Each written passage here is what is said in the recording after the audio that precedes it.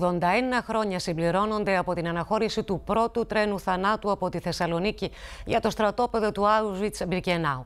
Το 96% των 50.000 Εβραίων της Θεσσαλονίκης εκτοπίστηκε και εξοντώθηκε στο Auschwitz. Πορεία μνήμης πραγματοποιήθηκε νωρίτερα στη Θεσσαλονίκη. Ο Ανδρέας Σταματόπουλος έχει το αναλυτικό ρεπορτάζ. Ανδρέα, καλησπέρα. Χριστίνα, για ενδέκατη συνεχόμενη χρονιά πραγματοποιήθηκε η πορεία μνήμης από την πλατεία Ελευθερίας μέχρι τον παλιό σιδηροδρομικό σταθμό για να τιμηθούν φέτος τα 81 χρόνια από τότε που ξεκίνησε η πρώτη άμαξοστοιχεία εδώ από τη Θεσσαλονίκη μεταφέροντας Εβραίους της πόλης για προορισμό, με προορισμό την Πολωνία και συγκεκριμένα το στρατόπεδο του Auschwitz.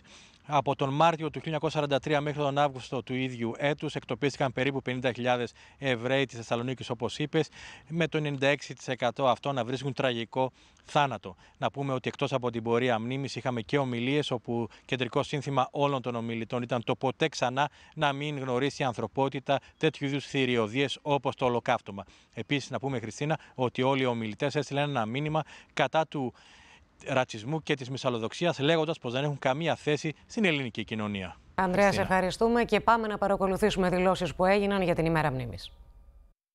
Η ξενοφοβία, ο ρατσισμός, η μυσαλλοδοξία, ο αντισημιτισμός παραπέμπουν και παραμένουν και δεν αποτελούν λύσεις.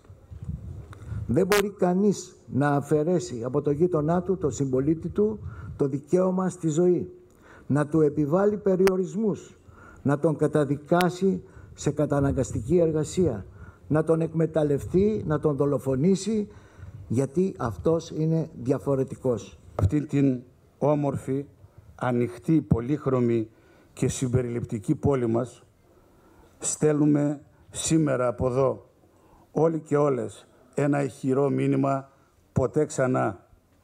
Είναι δύο λέξεις που μας ενώνουν, μας εμπνέουν, μας καθοδηγούν. Είναι δύο λέξεις που για να τις κάνουμε πράξη απαιτείται διαρκής αγώνας, επιμονή, κόπος και προσπάθεια. Δύσκολα χρόνια σωθήκαμε η οικογένειά μου και εγώ γιατί μας βοήθησε ένας φίλος του πατέρα μου ο γιατρός Πάνος Μαχέρας ο οποίος μας έκρυψε με ξένα ονόματα, με χριστιανικά ονόματα κάπου κοντά στο, ε, στη Δάφνη ή στο Κατσιπόδι το παλιό αν το ξέρετε στην Αθήνα. Απόλυες ευτυχώς οι πιο πολλοί από την οικογένειά μου σωθήκανε διότι κρυφτήκανε εγκαίρως προτού αρχίσει η μεγάλη καταστροφή στην Αθήνα.